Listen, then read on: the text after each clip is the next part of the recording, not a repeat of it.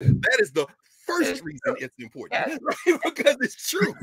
No question. No, no, no, no. That's important. No question. So then, okay, so so let's think about this in the context of our brother Just, uh, Justin Pearson these, these, and Justin Jones. These are 20 somethings. Age is absolutely not an excuse. It absolutely is a partial explanation, depending on what we're trying to focus on. Um, I was talking to um, my brother Errol Henderson the other day. Uh, he wrote a book which is actually available. You can find a PDF of this called "The Revolution Will Not Be Theorized: Cultural Revolution in the Black Power Era." I just happen to have it here because I just talked to him yesterday, and Errol was talking about this book chronicles the the the 1960s and 70s, the so-called Black Power era and he does a deep dive, a case study of uh, about a half dozen Black Power organizations, ones that we uh, know.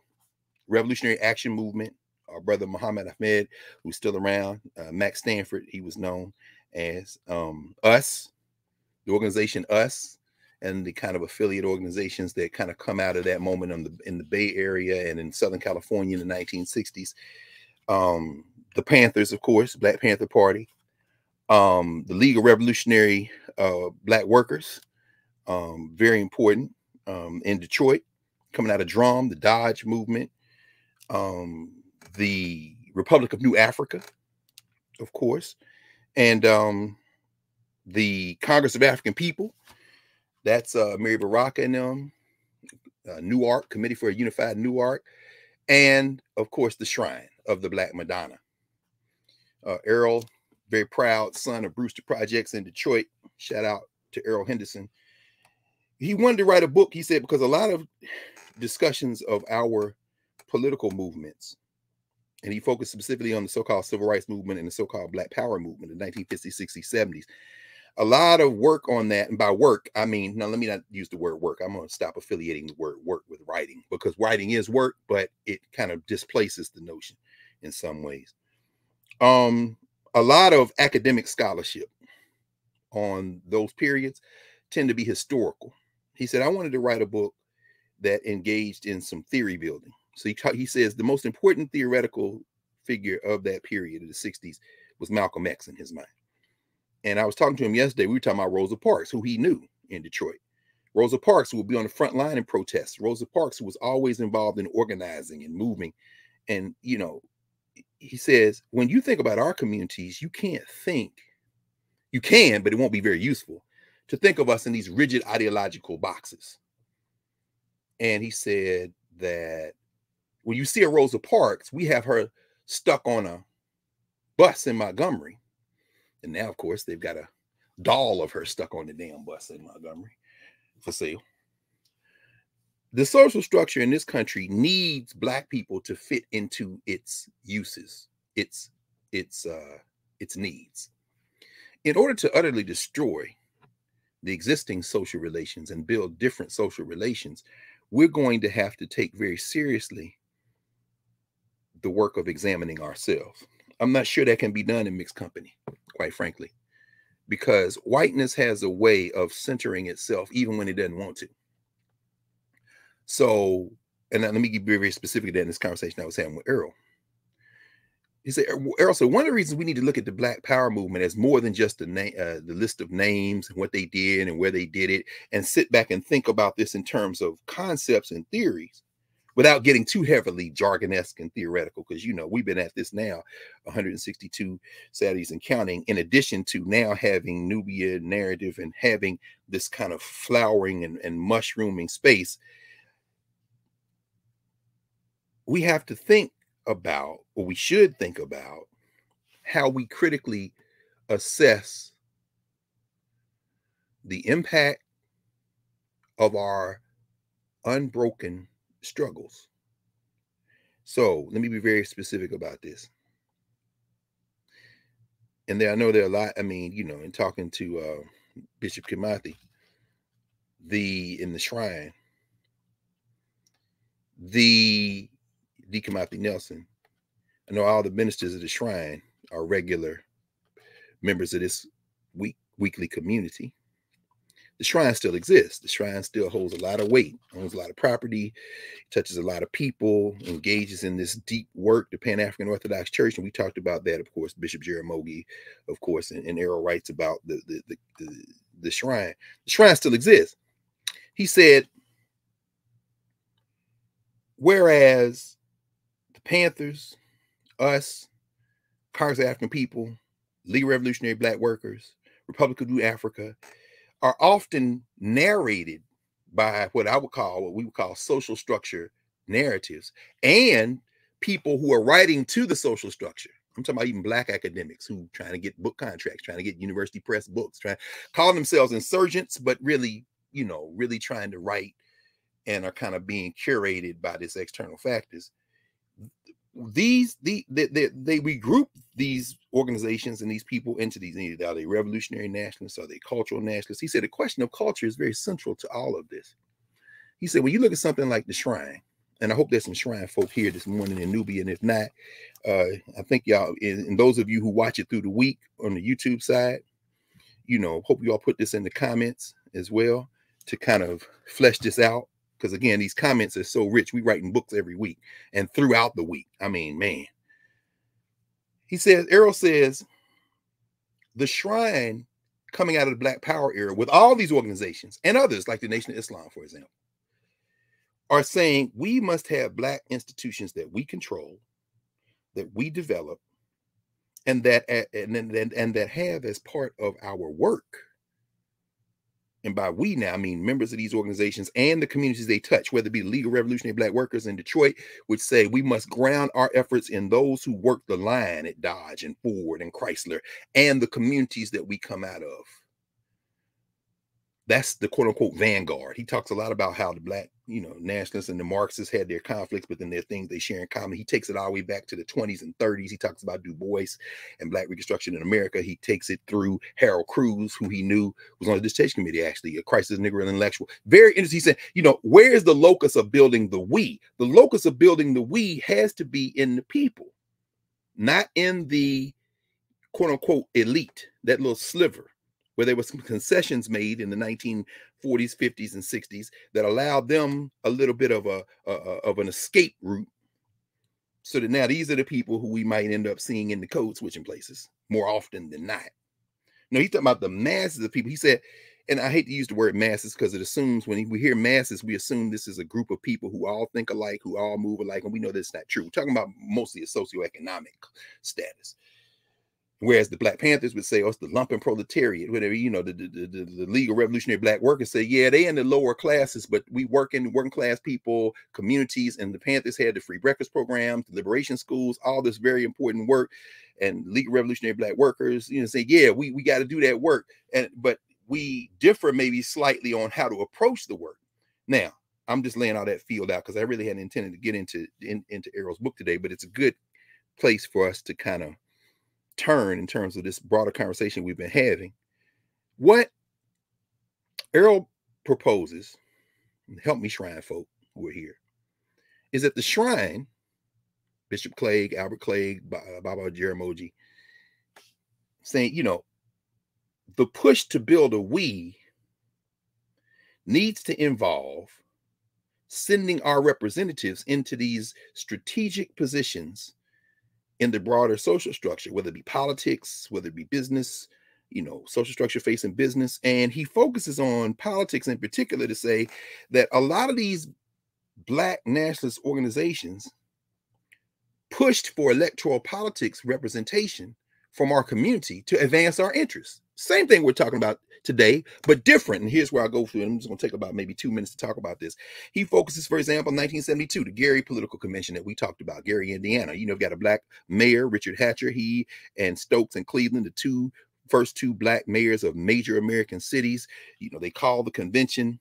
Uh, Amiri Baraka, of course, Betty Shabazz is there. Coretta Scott King. They opened the convention.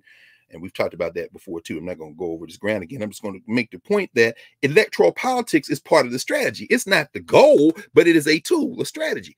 Well, what he says is that as repression, as it always does in a social structure that's anti-black, and that's absolutely what we're still living in, not just in the US, but globally.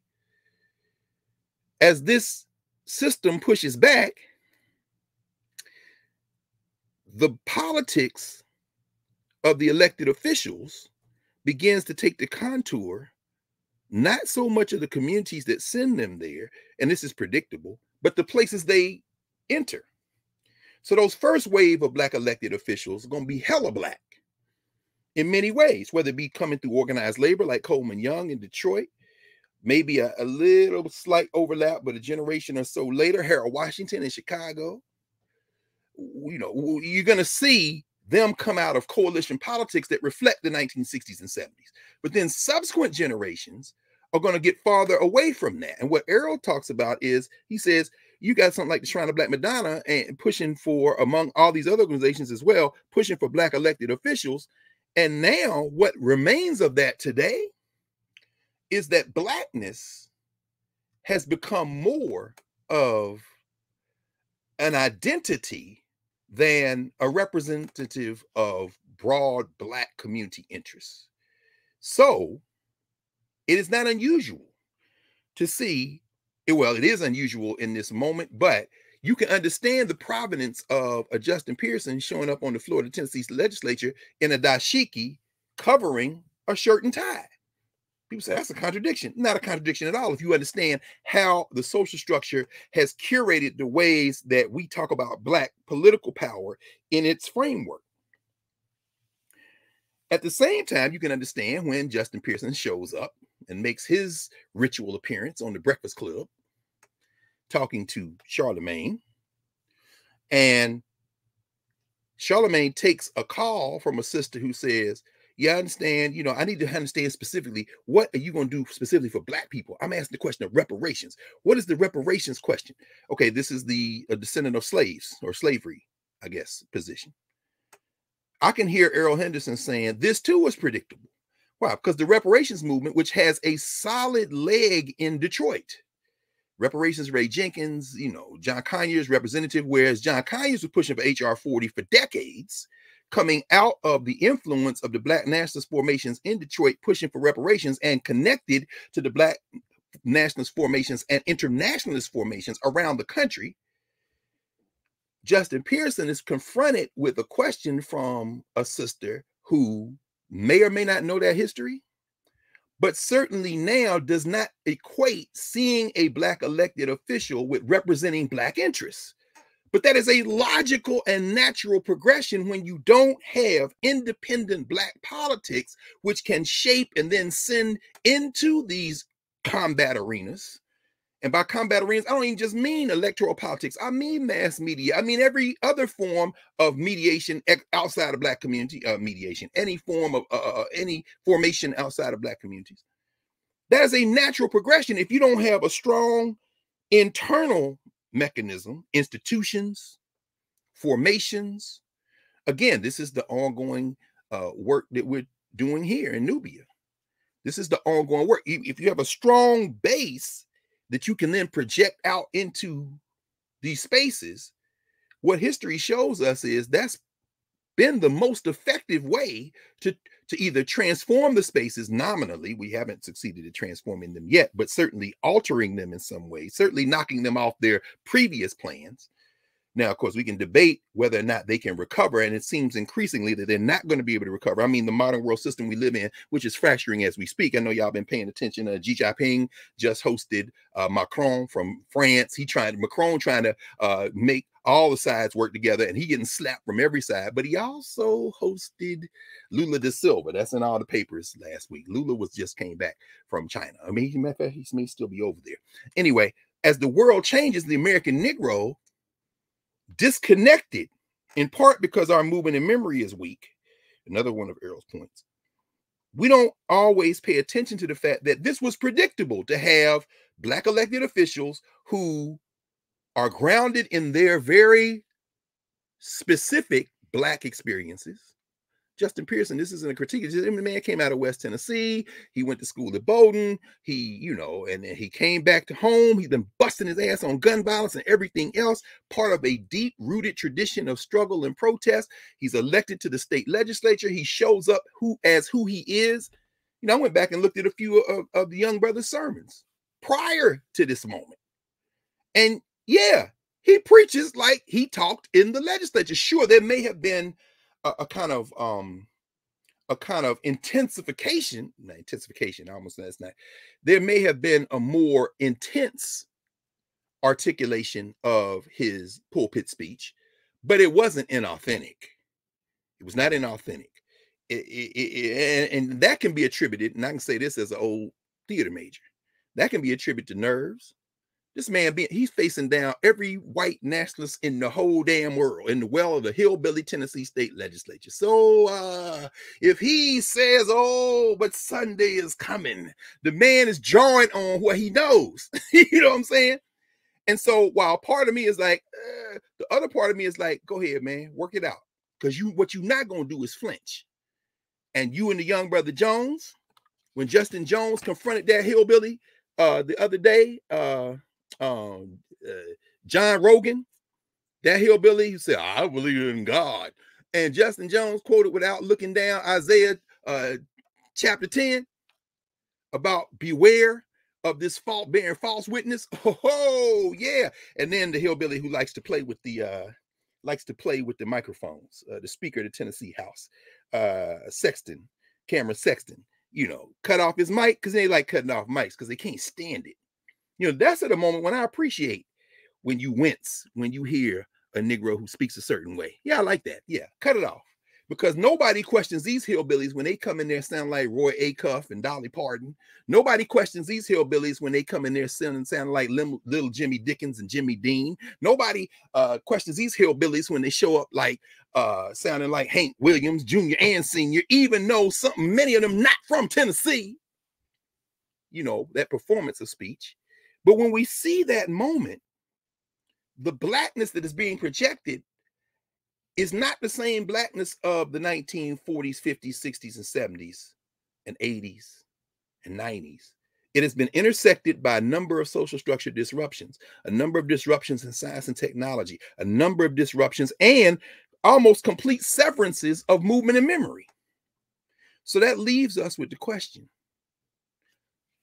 what should, can we do? I'm going to pause here and say that I think one of the central potential, and I say potential with this because again, three years now, hundreds of hours at this point of conversation with a lot of breadcrumbs to use our original metaphor, Professor Hunter, we, these are just all points of entry. We have to immerse ourselves in self study, self evaluation, so that we can see the patterns, make the adjustments, innovate, and move collectively forward because there is no we. The we was convened from without. I'm not going to go back over this. We uh, uh, because we've talked about it so many times. I'm just I'm just evoking that there is no we. So when we say by we, meaning those of us who have been grouped and categorized, as uh, Michael Gomez wrote in exchanging our country mark, in, in exchanging our country marks, he says the black elite don't represent Black America. They are a part of Black America, but when we're talking about representing the collective interests of everyone, they increasingly do not do that. He says it is the vast majority of the people who do the most suffering who continue to represent Africa to America. This is critical. So let me reset and ask what can we do? What should we be paying attention to? as we engage in this deep dive of study? Well,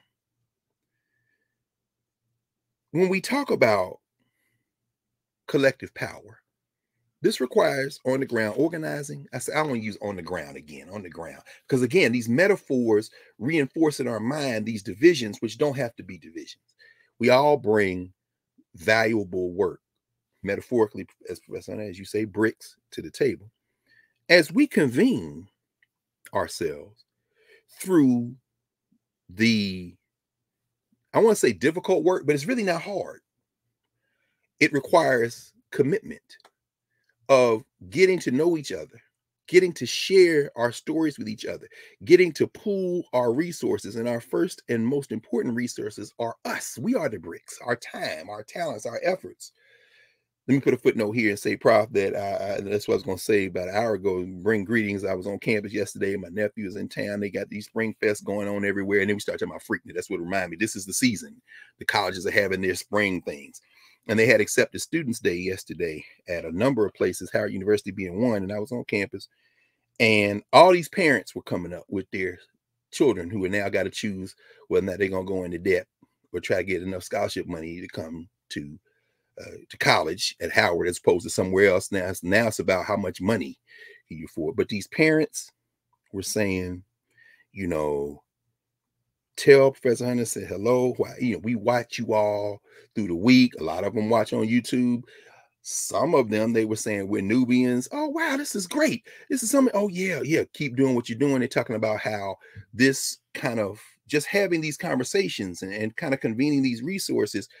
Uh, one brother I was talking to yesterday, he was there. His wife, his daughter is coming in the fall. She's a she's going to be a, a do a physician's assistant work as an undergraduate. He said, you know, it really transformed the way I think. What what we're doing together is transforming the way I look at the world. And I said, well, that's a blessing. He said, no, thank you, man, because it's really changed. I said, well, look, thank you because we're doing this together. It's affirming who we are as human beings. It's affirming who we are as African people. And it's affirming how these things are not accidents they are connected and that we have this long genealogy this momentum of memory. So that was the footnote. Now so as we're thinking about convening these we's to move forward with collective power we understand the source of that is the broader community not that part of the community that the social structure deliberately tries to curate to maintain its hierarchy the one that's fracturing globally. Okay. So we'll wind this up kind of quickly today because um, among other things, if you're in the, the DMV area uh, today at two o'clock, we're going to be down at, at, one of our spots, of course, and Sankofa Film and Books. Uh, there's a screening of a documentary on the great poet, critic, historian, culture keeper, more than anything, master teacher, Sterling Allen Brown. Sterling Brown. Um, this is a collection of his poetry um, Michael Harper edited many years ago the collected poems of Sterling Allen Brown. This is uh, probably the best single volume about him after winter from one of his poems, The Art and Life of Sterling Allen Brown. Sterling Brown, who was born on the campus of Howard University uh, in 1901, who made transition in 1989. Sterling Brown, uh, whose father, Sterling N. Brown, here's something you don't see every day. I pulled it out. I don't think I'm gonna take this out because I found this years ago and didn't even know what it was, except to know I knew the name. This is Sterling Brown's father, who was born into enslavement in Tennessee. I'll come back to Tennessee these days. This is Sterling N. Brown, Sterling Nelson Brown, my own life story. Mm. This is Professor Brown. So that looks like that might be public domain. It might be. If it if it isn't, we need to scan it. You probably probably find it. Somebody might find it. Put it in the. uh Definitely hold up the cover again, please. Yeah, yeah. It's called My Own Life Story. Sterling N. Brown, the father of Sterling Brown, born into enslavement. Sterling Brown was a uh, pastor for many years um, of the Congregational Church in Washington D.C. Debates debates involving Booker T. Washington, W.E.B. Du Bois, the American Negro Academy met there. Uh, you know, so Sterling Brown, Sterling N. Brown, very important. Um, he was a professor on the faculty at Howard University for about 40 years.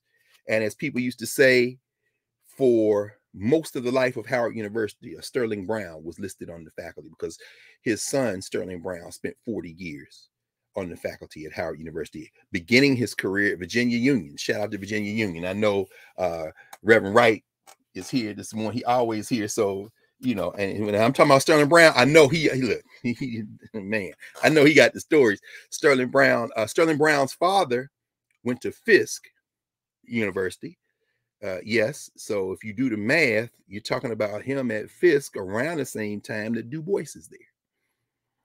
so Sterling Brown, in fact, knew Du Bois, knew all of them, knew all of these figures. Frederick Douglass uh, was a friend of Sterling N. Brown. His father, he passed in 1895. Sterling Brown, Sterling A. Brown, born in 1901. Um, when you hear Sterling Brown, you hear the South, but it's a South that is mediated through, like I say, um, his parents who met in uh in undergrad sterling brown professor brown the one i'm me Haile and i are talking about today because Haile Gerima and Shirikiana aina Shirikiana Gerima who they lived around the corner from sterling brown the sterling brown house in northeast dc where he and his wife daisy um, uh, who met and married and were married until daisy made transition about 10 years before sterling brown did um, Daisy, who was from Roanoke, Virginia. Uh, they met at Virginia Union, I want to say. Yeah, when he was teaching there. Uh, Sterling Brown, who was born, I say, on campus of Howard University, who then went to school in the segregated schools of Washington, D.C., who then went to the great, of course, where else? Paul Laurence Dunbar High School, graduated from there. And uh, we talk about Justin Pearson, who went to Bowdoin. Well, uh, Sterling Brown went to Williams College. Uh, at that time, of course, as we talked about when we talked about the history of Dunbar High School, the valedictorian and salutatorian of Dunbar were guaranteed slots for years at either Williams College or Amherst College. Amherst, of course, is where um, Charles Hamilton Houston went to school. Charlie Drew went to school. Was a book called Black Men of Amherst. I was just reading it the other day. Anyway, it's, it's in the other room. I'm saying all this as a background to this point. When you hear Sterling Brown, you hear the South. You Washington D.C. is the South for sure, but more importantly, his roots are in the South. But it's also a very cultivated way of speaking because Sterling Brown recognized that the source of Black cultural power, which means ultimately, if we're following Errol Henderson, the source of Black political power is in the culture. And so Sterling Brown studied poetry. In fact, an excellent, excellent book by Professor Gabbin, Joanne Gabbin, for many years, um, James Madison University. I want to say she was at William and Mary too. I haven't seen her in a, in a few years. Sterling A. Brown, Building the Black Aesthetic Tradition. It's an excellent book if you get a chance to, to pick this up. She chronicles Sterling Brown's life and work, his literary upbringing, his deep immersion in uh, in in scholarship. Uh, he was taught, for example, at Dunbar High School. Um, Jessie Fauset, that's right, the poet, the writer, friend of W.B. Du Bois, was on the faculty at Dunbar at the time. Angelina Grimke was on the faculty at the time. Um, Haley Douglass, who was the grandson of Frederick Douglass, was on the faculty at the time. First rate education at Dunbar, as we know. And I'm thinking about it in the context of Justin Pearson because, you know, Justin Pearson clearly got a solid education in Memphis and then went off the boat. Now, Tucker Carlson, an excellent social structure example of, um, what is it? Oh, yeah, affirmative action, also known as whiteness. On the best day of his long, I hope he lives a thousand years. And on the best day of those thousand years, you will not be able to measure the one thumbnail's inch of filings of any African that went to Dunbar High School, or really any African living today. But in contrasting that, what you see is that we send our children to get an education to serve the race. Justin Pearson in 2023, Sterling Brown in the 1920s, who said he wanted to follow his father into the teaching profession. His father said, Yeah, okay, son, you can do that, but you should probably spend some time somewhere other than Howard. I don't want you to start here, but you can come back here. So he taught at Fisk. Virginia Union, taught at Lincoln, came back to Howard, stayed on that faculty for 40 years. Now, here's where I want to tie this together in terms of the we and these speech acts, because today, as I said it too, because uh, Shriek and Haile live, live around the corner from where Sterling Brown's house still is, but of course they passed away years ago, they used to go around there and sit with him. He retired from Howard University 1969. He was beloved by the students. He was not a black nationalist, but he was rooted in black culture. So Amiri Baraka, the couple of years he spent as LeRoi Jones, of course, out of Newark at Howard, swore by him. He said, The one class I would go to consistently, Sterling Brown class. On the other end of the ideological spectrum, Michael Winston, who uh, wrote an excellent tribute in the April 1989 issue of New Directions, Howard University. There's Sterling Brown again, the famous picture to him. Again, Sterling Brown was a master teacher. Brown's students, uh, Olive Taylor, talked about Olive Taylor, right? But previous generations, I mean, he and I, I we should do a, you should know Prof on Sterling Brown. In fact, I'm, I'm, gonna do that. His birthday is May the first, so I'll come back to Sterling Brown. I don't want to evoke him today for a uh, for a long time. I mean, he along with Ralph Bunche and others, Doxey Wilkerson and them, worked on the American Dilemma Project. He was the director of Negro content for the WPA, the Writers Project that came out of uh, the Roosevelt era. And he, he, he, his battles are real chronicle, trying to get Black content that wasn't caricatures and things like that. But the reason I'm bringing him up is because Sterling Brown, who was born into what would be considered a very elite Negro family in Washington, D.C., was contemptuous of pretension, was often accused of being a little too rough. Why? Because you would find him in Nashville when they were on faculty at Fisk. You would find him in the barbershops and the juke joints you would find him bringing, when he was at Virginia Union, the cats who would sing the blues and all that to his class. Play this right here. We're going to have a conversation. When he was at Howard University, he'd be in Cook Hall, which is still there. Uh, Cook Hall in the lounge with his blues records, with Baraka and them sitting around going through his encyclopedic history of Black culture in the United States and beyond. It was Sterling Brown who, among others, argued, in fact, um, uh, let me see. I thought I had a copy because I started pulling my Sterling Brown stuff for this afternoon. Oh yeah, this is a nice. This is a reprint edition of the Negro Poetry and Drama and the Negro in American Fiction. Sterling Brown, in many ways, said, if you want to represent us, you got to sit in and with us. And there's no way you can pigeonhole us into one way of speaking, one way of being, one way of doing. However, there is a we deep into in our culture, and you're not gonna find it in the Negroes who's trying to front for you just as deeply insecure. So, so in many ways, Sterling Brown found himself at odds with the black bourgeoisie. And he found himself grounded in Africana, what we would call Africana ways of knowing, our governance formations. He was absolutely a keen listener for Africana cultural meaning making, our speech, our idioms, the way we move through the world. And then, in terms of movement and memory, he was absolutely deliberately committed to trying to create a genealogy. Not a genealogy that will be separate from American genealogy, social structure genealogy in the US context, global genealogy.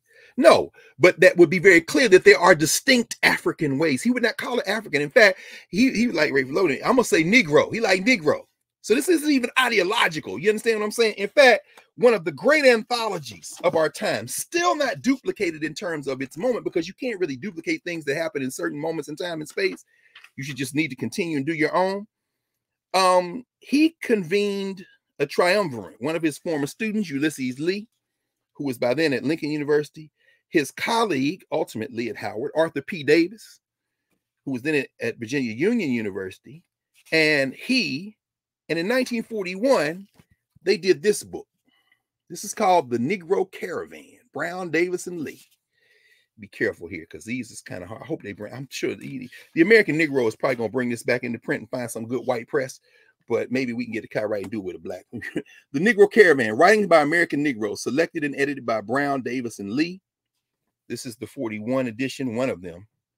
And it's 1,000, including index, it's 1,082 pages and it is a collection of short stories, novels, excerpts from novels, poetry.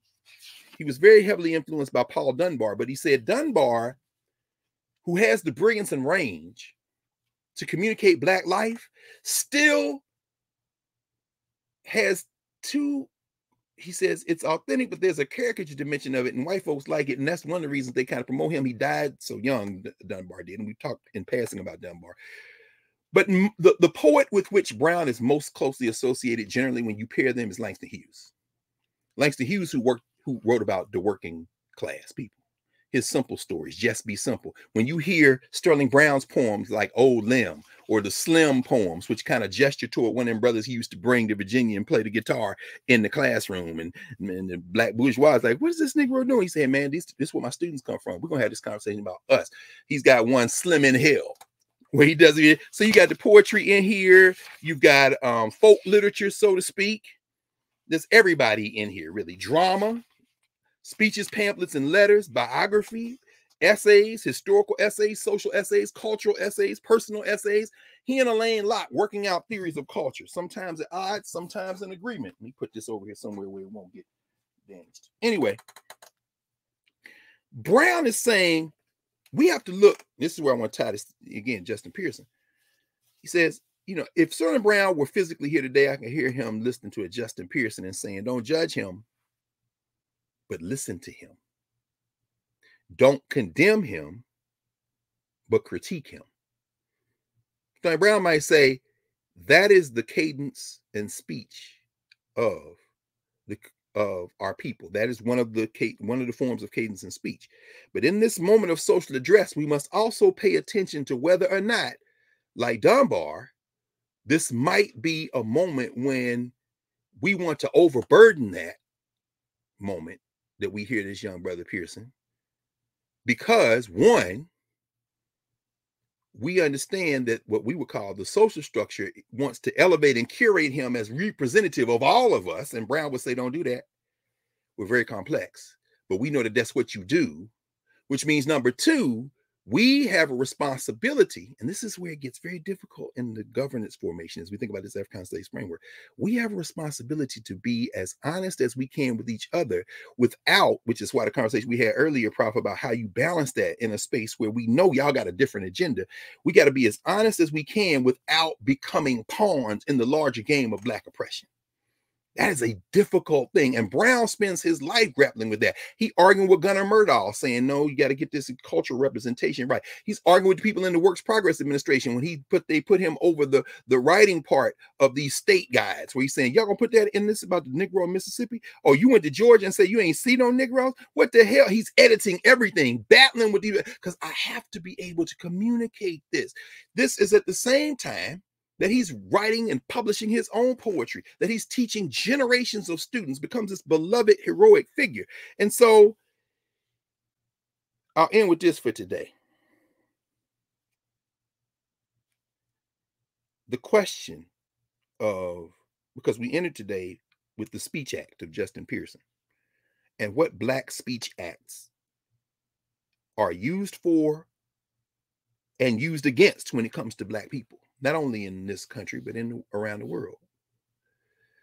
And so when we think about ourselves in a contemporary moment, we think about ourselves in a moment where we are more publicly diverse in terms of our blackness in the world than at any time in modern history, we have to ask ourselves what are the choices that we make in, as we construct this we? And what are the choices that a social structure makes that absolutely does not mean the vast majority of us will? All over the papers today, whether it be uh, the International Money Fund demanding that these African countries restructure their debt and now, you know, are we going back to the 80s and 90s where y'all put this austerity measures on them in the world today? That all that's that's going on. The massive African people, Ghana, for example, owe so much money that they're saying they may have to choose between healthcare and education programs and debt service. Meanwhile, China's like, maybe we'll forget a debt, maybe we won't. The IMF is like, if we're gonna give y'all any more debt forgiveness, we need to see these changes. And meanwhile, people say, I need an education. Okay, while all that is going on, they're curating. I was looking at the, today's uh, Financial Times. Let me see if I can find it right in the magazine. This is the magazine part where they tell you all the billionaire stuff you want to buy, right? They got this whole thing on these black artists they loving so much. The Africa Connection. This is a young Nigerian sister who is doing uh, stuff around furniture. Here's a, he, here's a sister right here who was born in Germany. She's based in London, but her people are from Nigeria, around Kano. So uh, Eve Sonaike Uh, Peter Mabeo, he's doing stuff around furniture. Now, all this is high-end luxury stuff at the same time, the place they're from, the, the mass people are suffering. So you can enjoy blackness without alleviating the struggle of African people. As the brother Ghanaian brothers, I was talking to him earlier this week. We were having a conversation with some cats, man. And his brother was like, you know, it's funny. It ain't funny, really. He said, the people who took the plants and made paper money out of them have all this stuff. And then here we are, he's Ghanaian. He said, we walking on top of the gold that backs all that stuff, the most precious metals, and we don't have anything. And he said, oh yeah, and the plants they made the paper out of, the trees and stuff, that's ours too. How the hell we end up with so but the minute you try to withdraw from that system, this is when that system says, "Oh, we got to come for you," and if we got to give a few artists some stuff because we like having some African flavored things in our house, that's fine. But the masses of y'all owe us 150 billion dollars, damn it, and you ain't gonna actually 800 billion in the case of some of the external funding, uh, about 200 million billion of it to the West. Um, so yeah, y'all not gonna, y'all gonna suffer. See, these two things can happen at the same time. So Justin Pearson and Justin Jones in the Tennessee legislature giving powerful speeches, being representative, and now in the public eye in a way that they were not two weeks ago, now are under the crushing burden of answering what comes next. Because if it's just going to be speeches, it becomes a proxy fight. And then we, oh, for that matter, I might as well play a video game. But you can't get any policy done. Can you get any policy done? It's going to be more than just speeches on the floor of the legislature. You can't get any legislation passed, although that was when Justin Jones was uh, coming back at Ragan because they just introduced and past House bill in Tennessee 1376. That's their version called the Higher Education Freedom of Expression Act. That's their version of the anti-CRT bill in Tennessee. That's when they got he, he got into the beef with him uh, the other day. But our those two things can exist at the same time. The black elite gonna be fine, so to speak. But it's the masses of our people, the, the larger formations of the people, the people who are doing the suffering that we, if we're serious about group advancement, are to have to really immerse and ground in. This is who Sterling Brown was studying and being with this is who Errol Henderson is saying came out as black power formations, trying to create these independent institutions that ultimately go under in part because of external repression. Not that we didn't have our own internal problems. And here we are in 2023, where you can have black people who a social structure will curate as black for its interests that don't represent black interests, like Tim Scott, maybe an example of that, oh, launching his campaign for president at Fort Sumter. Fort Sumter, South Carolina, walking under an American flag. And I'm looking at him and I'm saying to myself, suppressing the urge to connect him to a very specific uh, cartoon character from Bill Cosby and the Cosby Kids. And I will refrain from doing that this morning. But while watching him uh, talk about, uh, about his uh, uh, uh, career and upbringing, I pulled from the shelf another moment at Fort Sumter another uh, moment at, at, Fort Sumter that took place in 1863. We're going to we're going to conclude with this. There's a couple of things that happened this week I want to mention. And that, of course, was let me see if I got the date right.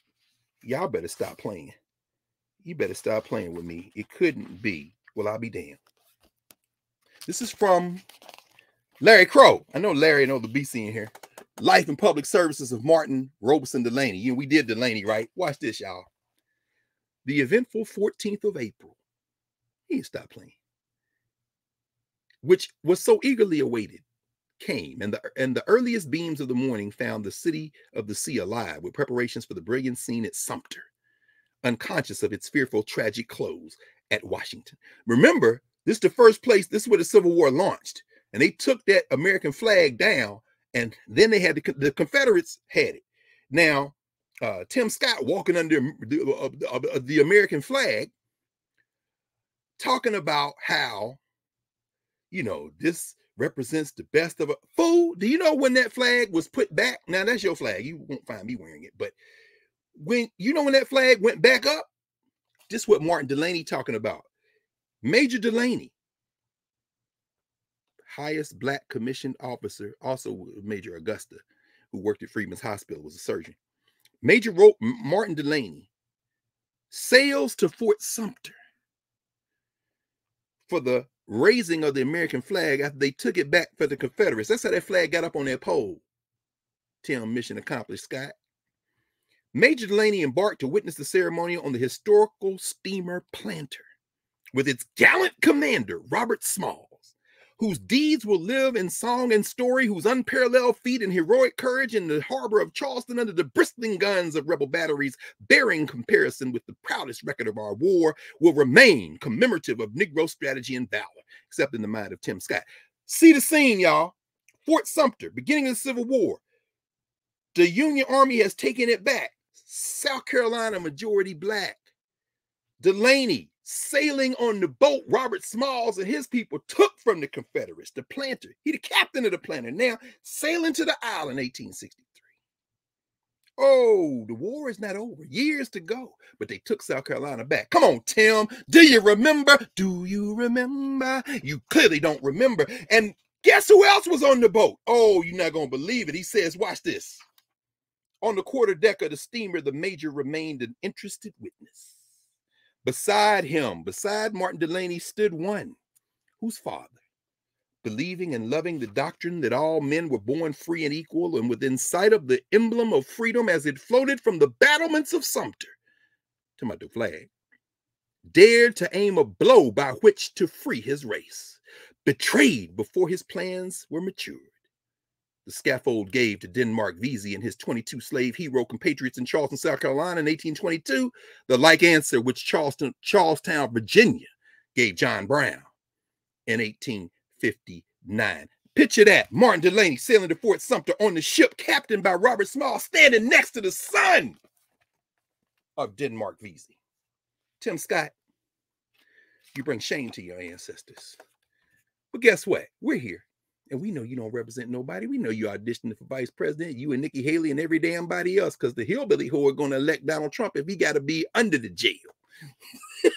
so you go ahead and skin, uh, uh skin, uh, skin and grin. So as we kind of conclude on representation, you can have black representatives that don't represent us. Our work is to reconstruct, to energize, to extend, to connect with institutional formations that are black and connected to non-black formations, which are deeper down in that class structure. So that when you see a representative of us, they are truly representing us, not just themselves and whatever their individual interests are. This is, for example, today's uh, New York Times because it is Jackie Robinson Day, isn't it? Uh, because I think it's Jackie Robinson Day today, right? Is it? Yeah, everybody in Major League Baseball wears number 42 today, I think. Wow. Yeah, it's a beautiful day, you know. And, and of course, if y'all want to know, we've done extensive work on Jack Roosevelt Robinson. So we're not going to do that right now. But I thought I would mention in today's New York Times this beautiful argue, uh, article on one of the many Jackie Robinson Scholar. Shout out to the century plus old now, Rachel Robinson, the Jackie Robinson Foundation, which is 50 years old today, which is a scholarship program providing an average of $32,000 over four years to 242 students consistently. I've had a number of Robinson scholars. If you're a Robinson scholar now in Knubia, or if you're watching this later on YouTube, drop it please in the comments because there are a lot of Robinson scholars who have graduated. Here's a very prominent one right now. Yes, Lauren Underwood was a Jackie Robinson scholar. you understand? Wow. It's a beautiful thing, Professor Hunter. Isn't it? I mean, wow. Mm. Jackie Robinson said a life is unimportant except the effect it has on other lives. When Robinson died far too young in his early 50s of that diabetes, because as his wife as would say sometimes, because he carried the whole race on his back. She said, No, we will continue this work. So Rachel Robinson has been the face and the animating force, Sharon Robinson and their daughter, so many others, the Robinsons, David Robinson, oh, and beyond that, the whole Jackie Robinson Foundation has been, in fact, let me just uh shout her out here very quickly. Um Della Britton, the president and chief executive of the foundation. Shout out to Della Britton as well. For lo these 50 years, all these college graduates, I, it makes me smile every time I'm in class, and it's usually around now The students will say, Dr. Carr, I'm not going to be here next week. Why? Well, I'm a Jackie Robinson. Say no more. I know y'all got to go because every year the Robinson scholars have to come to New York for the meeting because they got to report out. They got to do public service. They got to talk about it. It ain't just scholarship money. It ain't just individual Negroes. Oh, I'm going to achieve. no. You got a mission. As the old folks used to say, a charge to keep I have, a God to glorify. so anyway, so this is what it means to be a representative. Clarence Thomas, are you a representative? No, you're a wholly owned subsidiary of billionaires, and you're in trouble now. You look scared now. Why? Because it's coming out how much they own you. You don't represent us, sir. Even though you said for years when you sat on the bench that you didn't talk because uh, I'm from Georgia and uh, I, I, speak a, a, a, a, variation of Gullah. It's a language called Gullah, and uh, I just, you know, didn't want. I grew up uh, being made ashamed. That's a lie. Ain't nobody in the United States more proud of the way they talk than them Gullah Geechee Negroes. So if you're gonna sit up here, that's because you done spent your life trying to run from them. You're not our representative. We're talking about Black Speech Acts today, Professor Clarence Thomas has the tongue of Africa in his mouth, even as it is trained by Holy Cross and Yale to speak with a certain clarity. And when he has said that I like with my wife to camp in uh, Walmart parking lots because I come from common stock. Now we know why you a lie. Because you don't represent us. And Sterling Brown would clown the hell out of you if he was around. He's because Sterling Brown said, I know that Negro. That's the Negro who sound like us, but act like them. He's not a representative. So a couple other things, and I'll, I'll leave the rest of this for next week. I, I, I took note of the fact that I guess Jay Z trying to build a casino in Manhattan. Oh man, Broadway people mad as hell. Um, and Montana banned TikTok as if TikTok could be banned by a state. These hillbillies and lost their damn mind. But I I I, I want to um I, I want to end with this. How should I how, how should I put this? Yes. Tomorrow, actually today, so if you're in the DMV and you want to go down, if you're not coming by to see uh Haile and them screen after winter, after winter is the documentary, the only documentary in existence with Sterling Brown talking about his life in a, in, in a visual form as these two filmmakers, Shirikiana and Haile Gerima, went over to his house, talking to him on the porch, and said, "Can we bring a camera by here?" And made a whole documentary called After Winter. You can't see it anywhere. Haile and them not giving it up for, come, you know, for for to be, you know, moved other places. Maybe we can get them to do a screening over here in Knubia, though, Prof. I may be able to talk him into. We see see if he's in the mood one day, if they're in the mood one day. But we're gonna do a talk back. They'll probably live stream the talk back. My homie from Memphis, my my my young girl, Michaela uh, Skurlock, who's from Memphis, Howard University graduate. Um, also, I was asking her about Justin Pearson, and I said, you know, just he said, yeah, you know, I know them. Okay, okay. See, that's how you know people. You don't know people by asking MSNBC and CNN. You know people by asking their people who they are. So I asked the Memphian about another Memphian.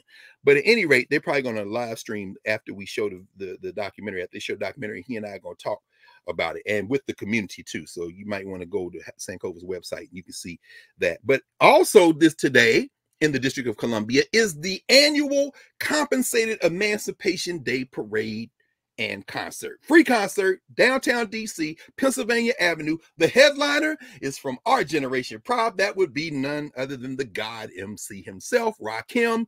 I'm, I'm like, come on, man, I want to go see Rakim. But hey, I love Sterling Brown. Sterling Brown will be all, like an intellectual godson, uh, grandson of Sterling Brown. Because Sterling Brown's thing is black speech is not all the same. So when you hear the best of hip hop, Sterling Brown would say, yeah, yeah, this is what it looks like. Wait, did it come from the people? Yeah. Did somebody else shape it? Nah. Then listen to it. Don't be mad.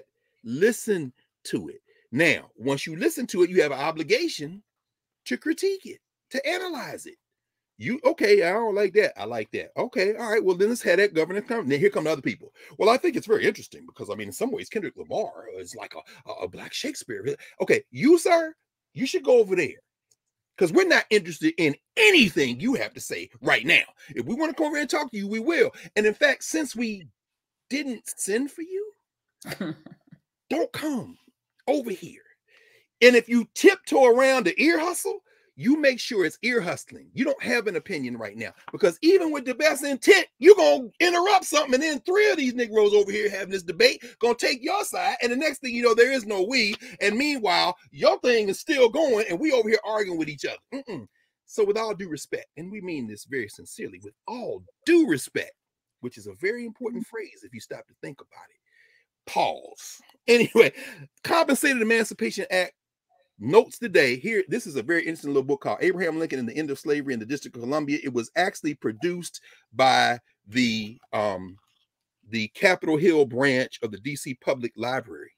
So i don't know if y'all can get your hands on it. Um but you know i don't mind scanning it. I mean i think they wanted it to be distributed. This is a book that collects a lot of the documents around the time. This is what happened in the district of columbia for those of you who didn't know in um in 1862 let me do april 1862 april the 16th to be exact which is why it's celebrated on the saturday before in terms of parade but it is a holiday here and has been a holiday in the district of columbia since it was declared a holiday in 2005 by the mayor of the district of columbia at the time. In 1862 the Africans of the District of Columbia were freed by the federal government, Congress, and the uh, President of the United States, Abraham Lincoln. It's the only Africans he freed. This is where we're going to end. Let me see, can I find it? So, y'all, because some people may not know about this. And even though we talk about it every year, we should do it one more time. Here it is, right here, page 69. Let me go to it very quickly. Here we are. Here's the act. These Negroes, they gave, I think, just under $2 million to free the almost 3,000 Africans of the District of Columbia. And they paid up to $300 a piece to the Europeans who had them enslaved. Imagine that. Then they set aside money and they told every black person who had been enslaved in DC, hey, come here. What? Listen, we got a proposition for you. What? Here's the proposition. You can stay here, walk around, do whatever you want to do within limits. Or we'll give you some money to leave. Go where? Lincoln is like, Haiti, Nicaragua, leave the country. Compensated the man. Now I'm gonna end with this. Here it is. This was the addendum to that. This never got passed. March 14th, 1862, letter to J.A. McDougall, Executive Mansion, Washington. That will be known as the White House. This is from Abe Lincoln. My dear sir, as to the expensiveness of the plans of gradual emancipation with compensation proposed in the late message, please allow me one or two brief suggestions. Less than one half of one day's cost of the war would pay for all the slaves in Delaware at $400 per head. Thus, all the slaves in Delaware by the census of 1860 are 1,798 at $400 a piece. Cost of the slaves, $719,200. One day's cost of the war, $2 million. Again, what is he proposing, y'all? Let me keep going. Again, less than 87 days cost of this war, would at the same price pay for all in Delaware, Maryland, District of Columbia, Kentucky, and Missouri. Thus, the slaves in Delaware, Maryland, District of Columbia, Kentucky, and Missouri, 432,622 enslaved people at $400 a piece will cost $173,048,800. 87 days cost of the war is 174 million. Abraham Lincoln says, Do you doubt that taking the initiatory steps on the part of those states and this district would shorten the war more than 87 days and thus be actual saving of expenses? Then he says, a word as to the time and manner of incurring the expense. Suppose, for instance, a state devises and adopts a system by which the institution absolutely ceases therein by a named day, say January 1st, 1882. What did I just say? He wrote this in 1862. He says, let's say slavery, the states where they got people enslaved says, we'll give up slavery. 1862? No, 1882. Let's say January 1882. Then let the sum to be paid by such a state by the United States be ascertained by taking from the census of 1860 the number of slaves within the state and multiplying that number by 400. The United States to pay such sums to the state in 20 equal annual installments and 6% bonds of the United States in sum thus given. As to time and manner, I think would not be half as onerous as one as would be an equal sum raised now for the indefinite prosecution of the war but of this you can judge as well as I. I enclose a census table for your convenience. Yours very truly, Abraham Lincoln. What is he proposing, y'all? Y'all friend. The one Marian Anderson stood on the steps, of the statue, and sang on Easter Sunday, and the Negroes weep to this day without knowing no history. What is he proposing? He's saying, look, first of all, I ain't freeing no N words in any state that's still in the Union Delaware, Maryland. And if we free them, let's pay the white boys that got them enslaved.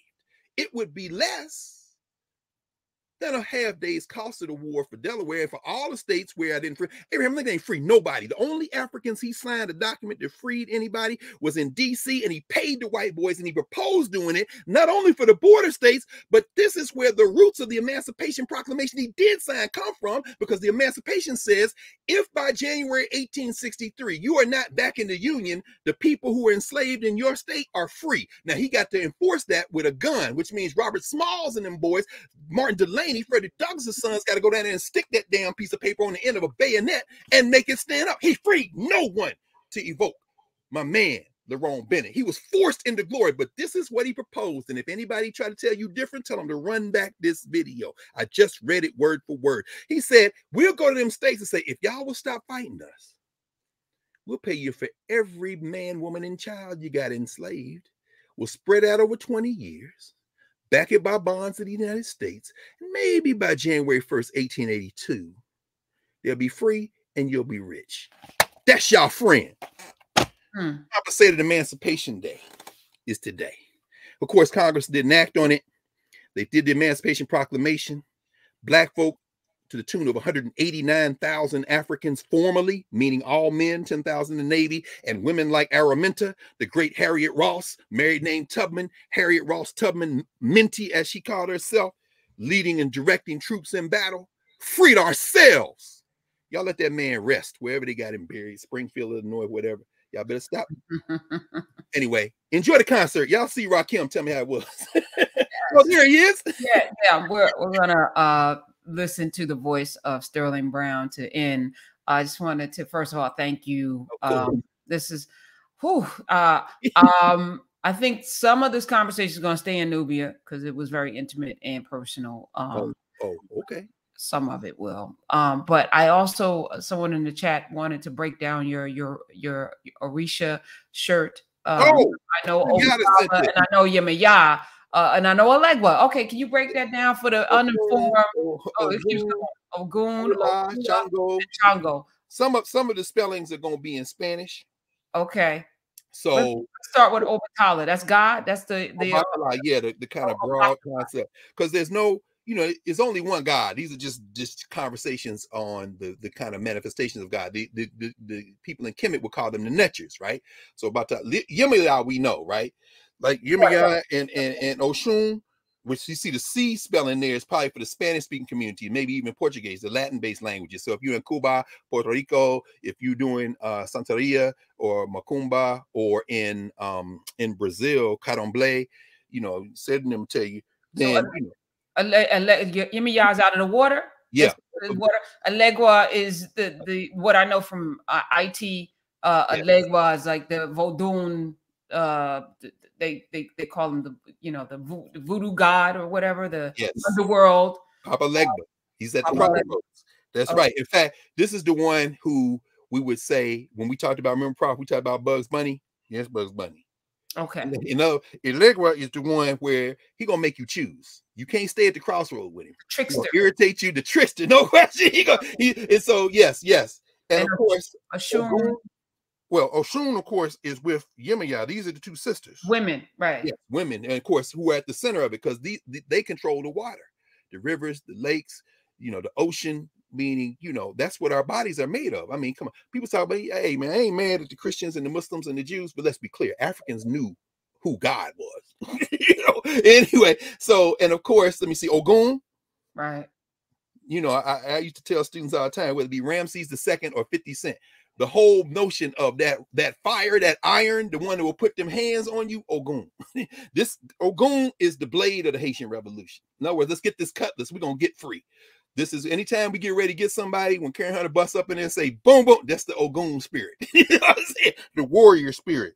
Uh Orula is one way of saying Orunmila. So the whole question of intellectual work, divining, my man um, Baba Sekou in in Philly, we used to compare. Uh, he would compare Orunmila to um, Djehuti, or in fact, Djehuti, who um, today's New York Times has an obituary uh, for the great Kwame Brathwaite. This is the uh, special edition of Aperture magazine. Please hold that book up because that is beautiful. Oh yeah, that's his wife on the cover. Okay. No question. Black is beautiful. It's a special issue of this. He just made transition. In fact, his obituary. I'll show it to y'all in. Let me see about maybe 10 seconds. I'll just show it to you because uh, I knew his brother um, better than him. And that, of course, was the great Elombe Brath, Sons of the Caribbean. Their parents migrated there is uh, Kwame Brathwaite, photographer who made black beautiful, so to speak. Dies there he is with his camera. Very important. He made transition on the first of this month, first of April. They founded something called the African Jazz Art Societies and Studios. I'm mentioning it because it's so funny how the ancestors work. Because there's a photograph in here, if I can find it quickly, because they used to have, in fact, here they all are, lobbying them. That's the association there. This whole thing is just these are Africans in New York. So those of you know Oyotunji Village, you know, uh, let me see. Look, here go these Negroes at the beach. doing their thing. So you know, uh, let me see if I can find this. Oh, yeah. Those of you coming to America, remember the, the black pageant, Miss Black uh, Queens pageant or whatever? They used to have Miss Natural Standard of Beauty pageant in Harlem. This is the standard of beauty pageant in Harlem. In other words, wow. you know, even when you watch it coming to America, there's a movement and memory to it. If I could find this quickly though, because I wanted to. Oh, here we go. Actually, this isn't it, but I want to show this picture anyway. Here's a young boy looking at the James Brown poster. James Brown was appear on the 930 show. He photographed everybody. He went to Zaire and photographed uh, wow. the uh, the uh, the Ali. Here we go. Here is the couple, power couple, Abbey Lincoln and Max Roach. Aminata Moseka and Max Roach. Here she is kissing. Uh, it's titled an ibis, but that is Djehuti. Djehuti the scholar, the intellect, the writer, the person who inscribes a Yoruba gloss on that might be Orula. So you know. And of course, Shango. Shango is another war spirit, spirit, thunder.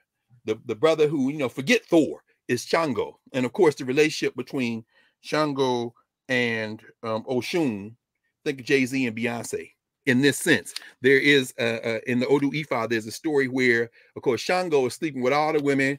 He, you know, he would have been the one that freaked Nick or whatever. All the women want Shango. All the women want Shango, but Shango wants Oshun. So Oshun finally relents. And after she finishes making love with him, she drowns him and then brings him back. Let me show you what this is about. So if you understand why they spend so much time in Cuba, I don't know what I don't know. No, and we'll never know the conversations Jay Z and Beyonce have. But just know that Oshun, that's that's the yellow. That's where my girl uh Shanice Thompson, my former student who got her PhD, she wrote a dissertation called Lemonade and Other Yellow Things. She uh-huh. traced Oshun through lemonade. so you know when you see Beyonce, a lot of that stuff's very intentional. Y'all pay attention. Right. Anyway, I'm saying that sounds more like Will and Jada, but I digress. Will and Jada too. Well, actually, that's who, of course, if you listen to Harold Melvin and the Blue Notes, that's who Harold Melvin is begging for eight minutes on I Miss You. anyway.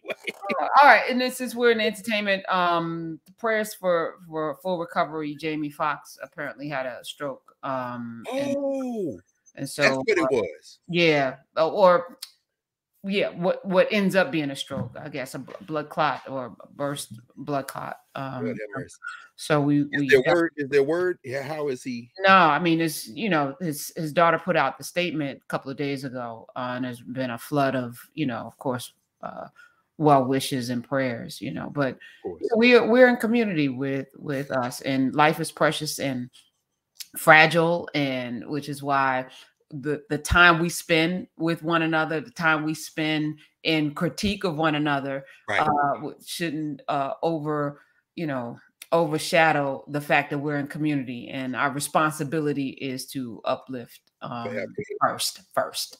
So, so there's that. You know, even if we jokingly want to talk about you know the different art that's out there and why we don't like it, ultimately life should super, supersede all of that. So no question. no question. No question. And, we send all the best energies. And finally, um, everyone that's in Knubia, uh, you can go to the bookshelf of Knarrative. Uh, just ask Ahmad, and he'll do that at some point. Drop the um, Sterling in oh, uh, good. Brown book, my my own life story. So that, will be uh, on our bookshelf, and um, trying to get as many books in there as possible. So that's the relationship between Knarrative and Knubia.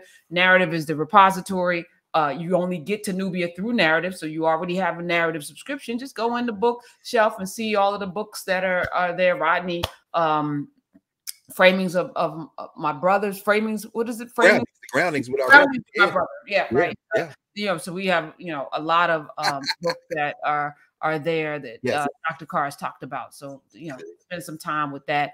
Be safe in them streets, Dr. I'm good.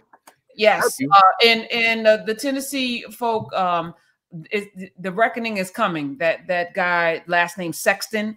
Yeah, uh, a lot of stuff coming out about him, whether his residency is, you know, valid. Oh, you, you know, already know. Yeah, the same man that uh refused to unseat an actual child predator. Come on now. To throw out three people battling for the life of children, and he might have a mistress. So they're trolling the hell out of him right now. Yeah, seeing some, some, nasty potential stuff on so but we say less, like you say, what, what's done in the dark comes to light. Always, always. Love you. Let's Love let's you. Uh, let's finish uh with sitting with this ancestor. And thank you for sending me this uh because I never heard his voice before. So yeah, yeah. He did, he did an album with the Langston Hughes too, but this is his most famous album, Smith Folkways, Slim in Hell.